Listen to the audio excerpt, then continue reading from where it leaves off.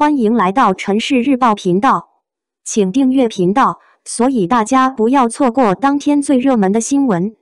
我们今天的时事通讯包括以下内容：余生请多指教第二轮星播出，配角的热度也是实火的证明。一轮播出还没到两个月，余生请多指教就将黄金档二轮上星。五点二六日晚七点三零分在深圳卫视分播出。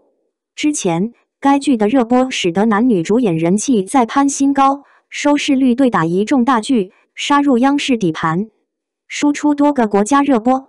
腾讯财报最新报告内容显示，《余生，请多指教》这部剧带来的插播广告带来的收入更是特别可观。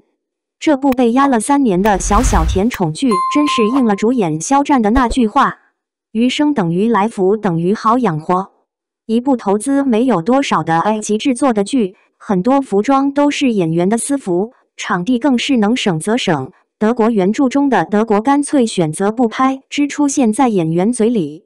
播出时段也不是容易大火的寒暑假和新年档，又对打了很多现实题材的的大剧和大成本的 S 加级的古偶剧，怎么看都是夹缝中求生路，结果一路逆袭。火爆全网，投资方妥妥的赚钱了，作品稳稳的立住了。有博主评论说，一部剧爆不爆，主要看剧情的讨论度和剧里配角的热度。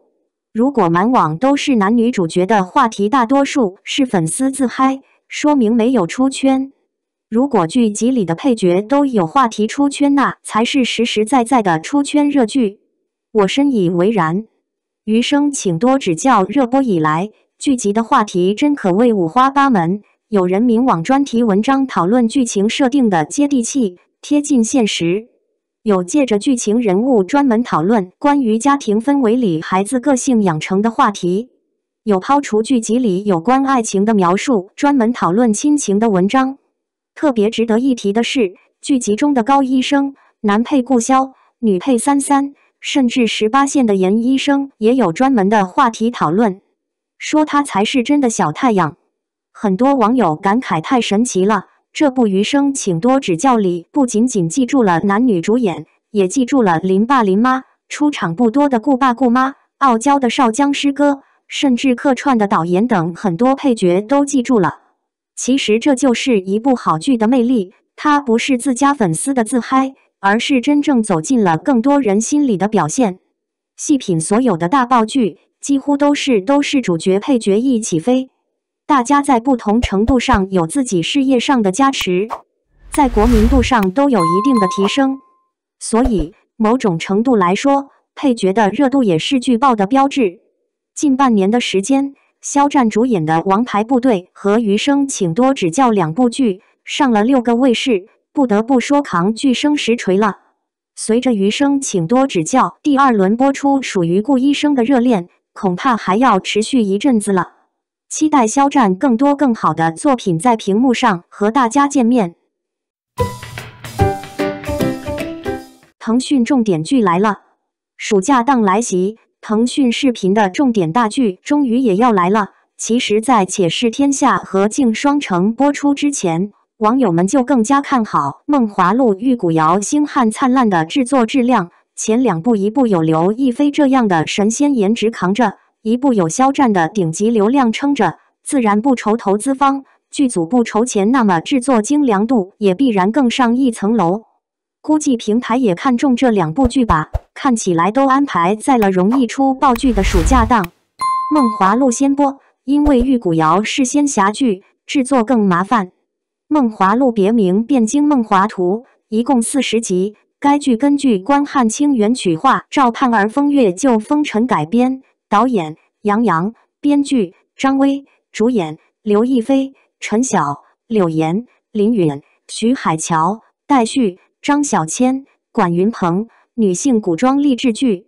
故事主要讲述了赵盼儿、宋引、张雨孙三娘三人在经历了举步维艰、种种磨难后。姐妹三人终于将小茶房经营成了汴京最大的酒楼的故事。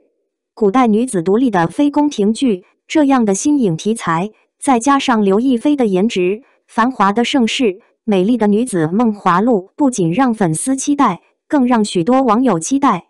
作为刘亦菲时隔十六年的第一部电视剧《梦华录》，确实有让人期待的亮点。昔日的神仙姐姐，颜值不减当年，再次出演电视剧，也是令许多网友期待不已。据悉，该剧为腾讯 S 加大剧，目前是腾讯视频全网独播。很多网友期待这部剧可以挽回一些前面竞双城且试天下丢掉的腾讯视频 S 加大剧口碑。目前，这部剧腾讯视频客户端显示过为六月二日开播，当下已经进入宣发期，微博上接连放出视频和图片，不出意外就等正式官宣定档了。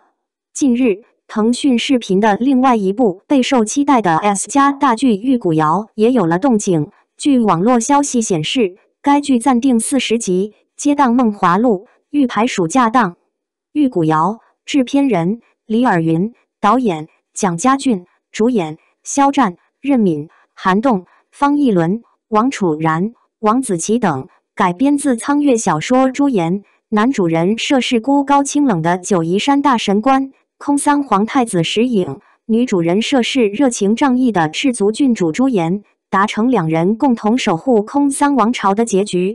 该剧于二零二一年八月四日杀青。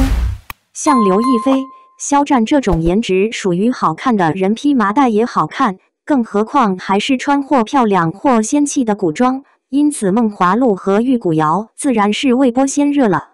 另外，据悉，这个暑假还有《沉香如屑星》《洛宁成堂》《苍兰诀》三部仙侠剧要播。喜欢看仙侠剧的网友福利来了！不知道以上几部剧会否再出一部爆款度类似《三生三世十里桃花》和《香蜜沉沉烬如霜》这样的大爆剧呢？